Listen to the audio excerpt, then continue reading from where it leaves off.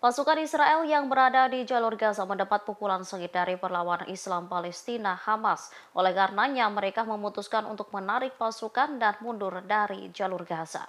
Surat kabar Israel Yediot Ahronot dan situs Yenet menyampaikan kesaksian tentara Israel yang memasuki pertempuran di Gaza. Para prajurit Zionis dilaporkan terjebak dalam penyergapan perlawanan mereka dibombardir Hamas menggunakan beberapa jenis senjata dari berbagai arah.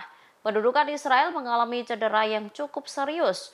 Para prajurit yang berada di medan perang menegaskan bahwa persiapan untuk pertempuran tersebut tidak berjalan dengan baik. Alhasil, Komandan Kompi menarik mundur pasukannya Apabila langkah tersebut diambil, dimungkinkan banyak prajurit Israel yang akan tewas. Namun selesai mundurnya pasukan itu, seorang komandan kompi dan wakilnya dipecat.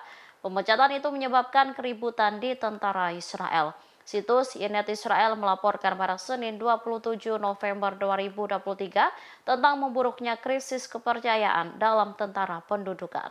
Download Tribun X sekarang menghadirkan lokal menjadi Indonesia.